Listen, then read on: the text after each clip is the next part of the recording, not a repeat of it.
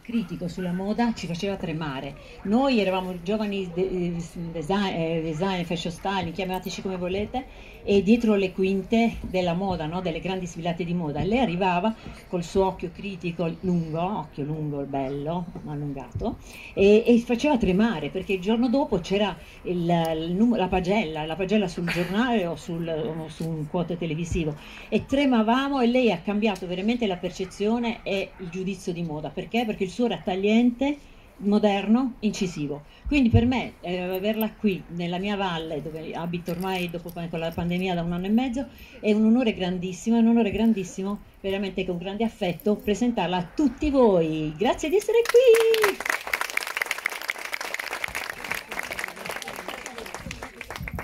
Grazie Anna e grazie a tutti voi, sono felice di essere venuta, di aver accettato eh, questo appuntamento perché eh, credo che la moda sia un universo davvero molto poco indagato e poco conosciuto dal grande pubblico.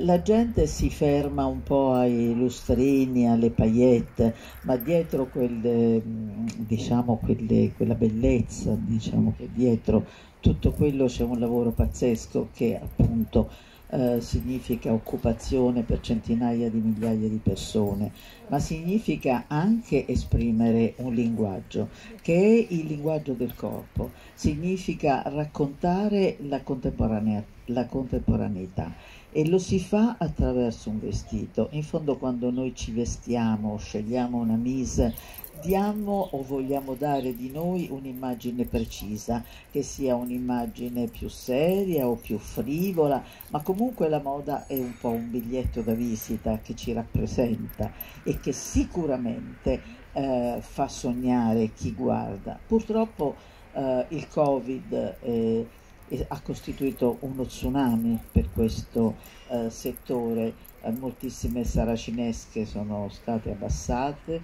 moltissime aziende sono state chiuse, è inutile pensare che tutto quello che c'è stato potrà essere riproposto perché è difficile pensare che si eh, possa ritornare a quegli eventi colossali che la moda ha proposto negli anni 80 e 90. Diciamo che io ho avuto la fortuna di cominciare a occuparmi di moda sapendo, occupandomi di tutt'altro prima appunto, tanto è vero che mi domandavo che cosa, insomma, cosa mai avrei potuto raccontare io occupandomi di moda perché non è che mi interessasse molto. E invece poi mi sono accorta che era un mondo assolutamente straordinario soprattutto perché raccontava quello che noi siamo e i cambiamenti che noi in qualche modo rappresentiamo. Raccontiamo attraverso il nostro vestito attraverso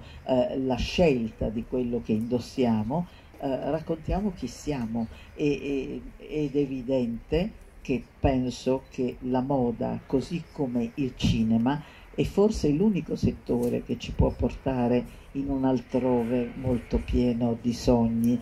Eh, non è un caso che io abbia scelto, quando ho pensato alla struttura di questo libro, abbia scelto di dare ad ogni capitolo di questo libro il titolo di un film, perché secondo me il film in fondo racconta assolutamente la contemporaneità, per cui la grande bellezza, per cui il sipario strappato, che è l'ultimo capitolo perché secondo me questo sipario straordinario è stato strappato, oppure La finestra sul cortile, sempre un film di Hitchcock, La grande bellezza, perché appunto le modelle, cioè è molto cambiato il concetto di bellezza, è cambiato radicalmente e profondamente, se voi pensate a che cosa sono state le bellissime, eh, il fenomeno creato da Gianni Versace delle top model, oggi si parla di inclusività.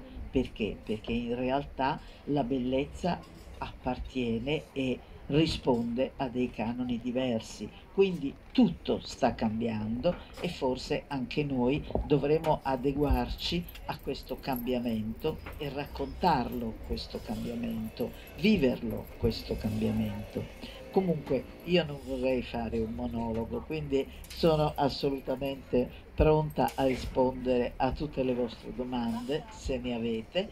E, e se no appunto me le fai tu, eh, perché penso che sia importante capire dove stiamo andando, perché è inutile negarlo, ma c'è una disaffezione dei consumatori rispetto agli acquisti di moda. Sì. Una ragione ci deve essere se i consumatori si sono stancati di